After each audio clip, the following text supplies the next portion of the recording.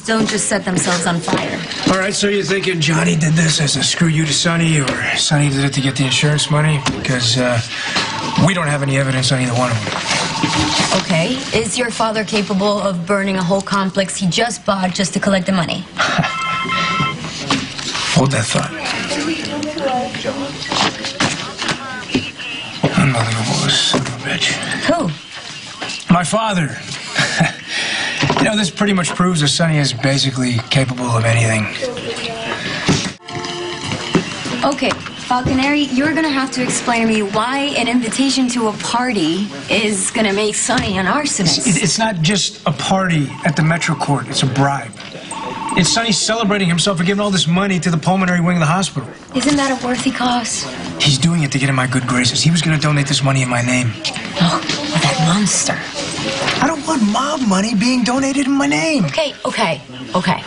If Sonny is trying to buy you off, at least he's doing something that's gonna help people. You, you- you sound like Lulu. She said the exact same thing to me. Yes, I knew I liked that girl. Look, you don't understand is there's always there's always a catch with Sonny. Does it really matter why he's donating the money? Yeah, yeah, actually it matters to me. He's trying to buy his way into my life. I mean, what's left of my life. I mean, I almost lost it when someone took target practice of me in his warehouse. Mm-hmm. Another unsolved mystery involving Sonny Corinthos. Mm. And get used to it, Padilla, because Sonny never pays for what he does. So far. Never underestimate the power of a good defense attorney. if you were my wife, I, I, I wouldn't be quite as understanding as your husband is. Well, I told you my marriage is nothing like yours. Yeah, what's it like? None of your business.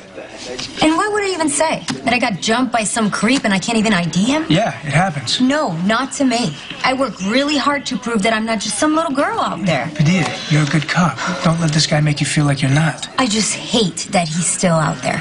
Thinking that he's smarter than us, than, that, that he can get away with things. Like the guy who killed your sister. Yeah, yeah, like that guy. For all I know, he could be the same person. Okay. Why don't, why don't you uh, lay it out for me?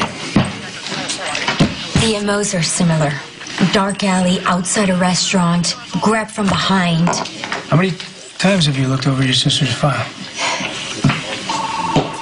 Thousands. I know everything that happened to my sister. Except for the name of the guy that killed her. That's what drives you to do the job. Sometimes I think it would be nice to think like your father, you know? Not worry about the law, oh, rules. You, you don't mean that. Ronnie was wrong about D'Onofrio being the perp. But he was right about one thing. Sometimes we do help the Okay, criminals. look, Padilla, we're cops, okay? We follow the law. We treat everybody fairly. Nobody treated my sister fairly.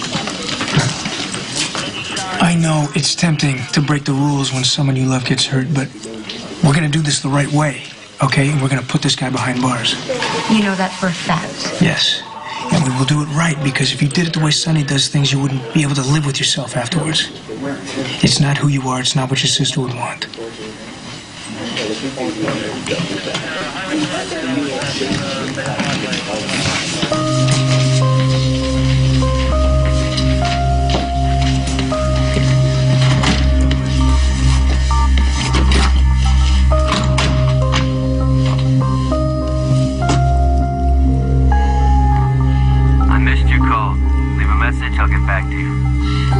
Mr. Zacchara.